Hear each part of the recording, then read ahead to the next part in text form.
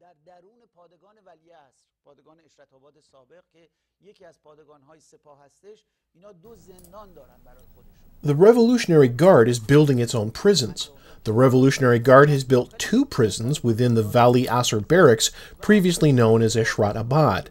The famous 66 prison is for public prosecution, and the other one, which is called 59, is built for solitary confinement.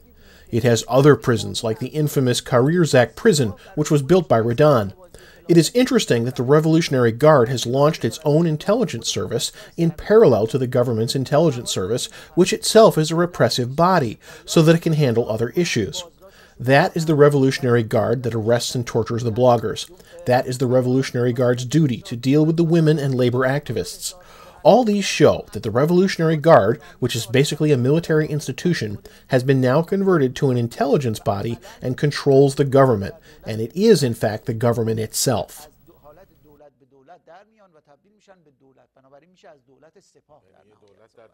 Is that really safe to assume that the Revolutionary Guard is one of Iran's most powerful economic institutions? Because we've seen that the Revolutionary Guard has played different roles in different areas, from importing planes to exporting grapes. Does the Revolutionary Guard have such economic strength? Does it really play any significant role in the market? I'd like to know your opinion regarding these issues.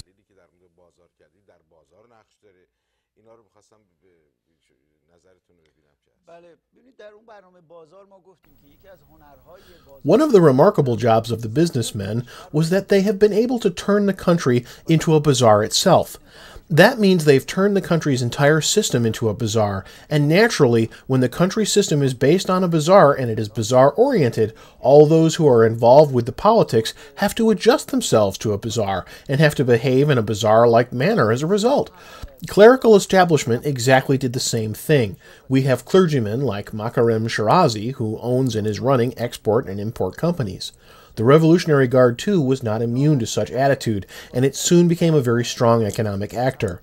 And as I said earlier, the Revolutionary Guard was practically and very actively involved with economic activities at the end of the Iran Iraq War. The Revolutionary Guard used Article 147 of the Constitution, which authorizes the military institutions to utilize their belonging for the construction of the country when it is at peace, as pretext to enlarge its power in all economic areas. The Khatam al-Anbiya military base, which we talked about earlier, was awarded around 1,700 huge contracts by the government, and it has been able to make billions of dollars profit on those deals.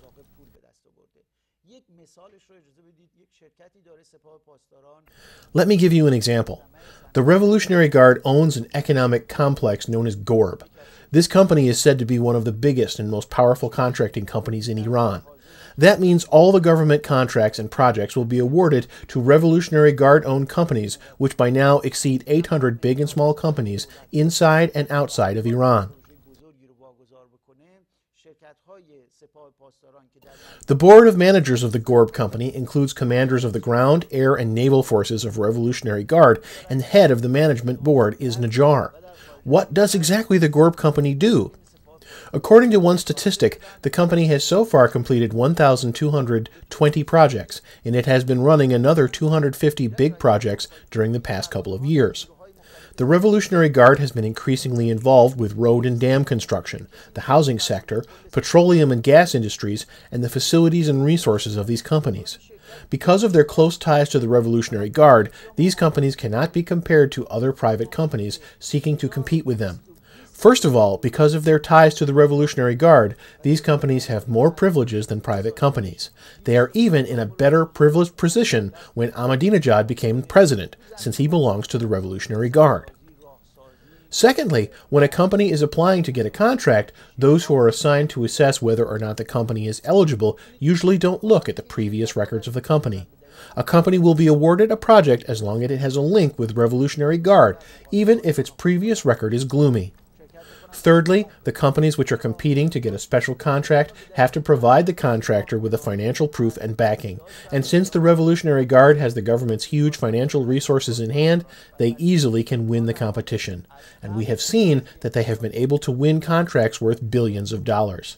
In numerous cases, we have seen that companies owned by the Revolutionary Guard have not been able to properly handle the projects and they have ended up in a fiasco.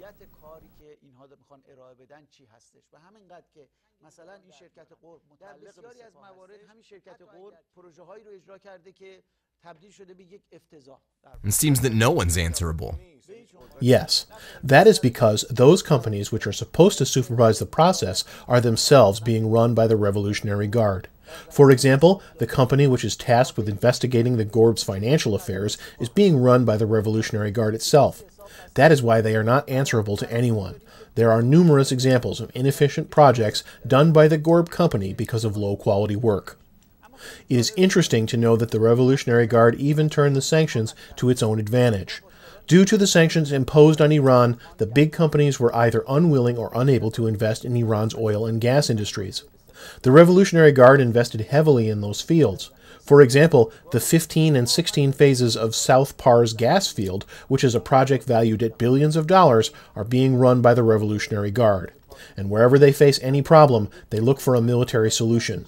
In one example, the Revolutionary Guard wanted to hold control over the Oriental Kish Oil Company, and when the owner of the company resisted, the Revolutionary Guard brought helicopters and warships and started firing at the company's employees, who were mostly Romanian. If you remember in 2000, the Turkcell company, which is a huge company and has even shares in the US stock market, won a contract to launch the first mobile operator in Iran. But when the Revolutionary Guard realized that there were huge sums of money in the contract, they began to create problems for the company. First, they talked about security issues. Then they talked about military issues. And at the end, Janati, who is close to the Revolutionary Guard, outlawed the contract as being against Iran's constitution. Then they said that 30% of the company's share should be given to the Revolutionary Guard, which the Revolutionary Guard found insufficient. Ultimately, they drove the Turkcell company out of Iran, and the Revolutionary Guard took charge of the contract. It was published yesterday that Telecommunications, which is the biggest and the most profitable governmental company in Iran, is expected to be taken over by the Revolutionary Guard. Let me give you an example of Imam Khomeini International Airport. Since the Revolutionary Guard was firm in its decision to take full control of the country's economy, it started questioning those companies which were involved in the construction of the airport. Ahmad Khorram, who was the road minister at that time, was impeached by the members of parliament loyal to the Revolutionary Guard. And at the time of the dedication of the Imam Khomeini International Airport, the Revolutionary Guard brought armored vehicles and tanks into the airport, and it did whatever it could until it was able to take control of the airport. One of the members of parliament said something interesting. He said that during the first 18 months since the Revolutionary Guard took control of the Imam Khomeini International Airport,